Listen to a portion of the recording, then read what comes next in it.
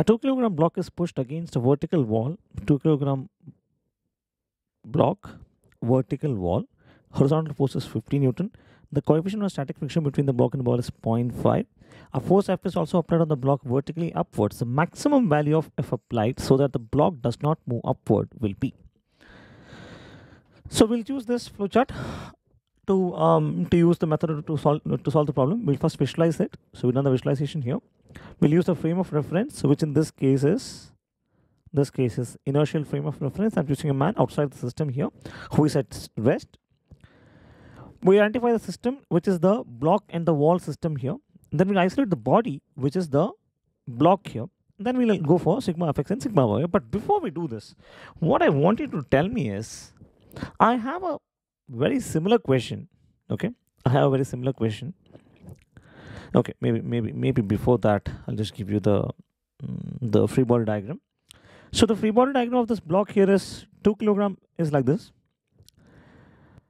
By virtue of being in contact with the by virtue of being co- in contact with this block here, with this wall here, the wall will exert a normal reaction on the block, right? Which will be normal reaction on the two kilogram mass due to the wall. Now there is additional force acting in the okay now i think since i've taken this all way around the direction should change right? Okay. But doesn't anyway doesn't matter because the action will act on the other, side. That shouldn't be a problem here. Okay. So now uh, 15 newton is acting in the opposite side right? Okay. Now vertically f is acting upwards. We know that since the body is it does not move upward right? So the maximum value of your so that the block does not move upward. It means it means the body when the f is maximum the body is trying to move upwards. Therefore friction will try to bring it will try to bring it downwards. Okay. Now when friction will try to bring it downwards static friction is coming into picture here because there is no relative motion between these two bodies. Therefore static friction will act downwards mg will act downwards now my question to you to you here is what if i gave you the same wordings in the question replacing the maximum value my bad replacing this maximum value by minimum? Do you think the answer would vary? Do you think there would be a difference in the free body diagram?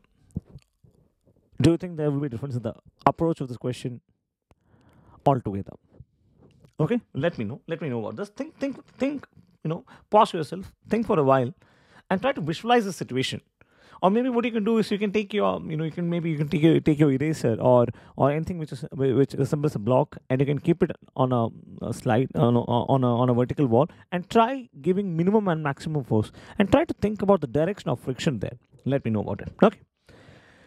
Right so so that's it with um, the question. Everything else is very direct here so we assume that uh, the body is is is moving only along is not is moving only along the y-axis. There is no motion along the there is no motion on the x-axis. Therefore, sigma fx will be equal to zero.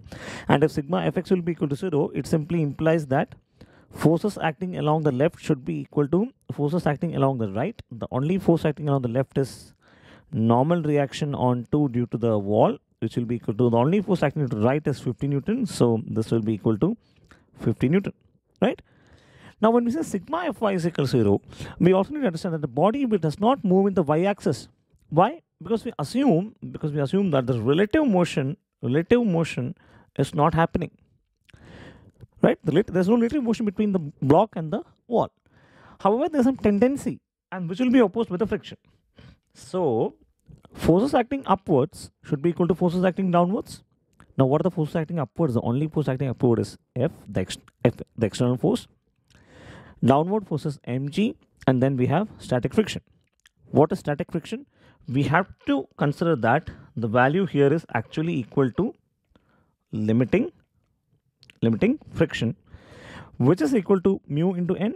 What is n? N is 50 newton. So we have mu given to us as 0.5 therefore it is 0.5 into 50 mass is 2 kilogram 2 into 10 20 plus 0.5 into 50 is 25 20 plus 25 is 45 newton to be to be more precise to be more precise what we need to understand here is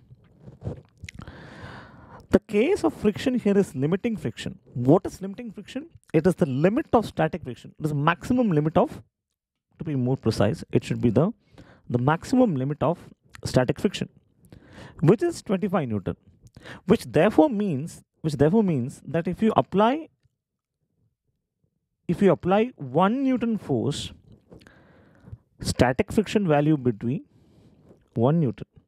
If you apply 10 Newton force, static friction value would be 10 Newton.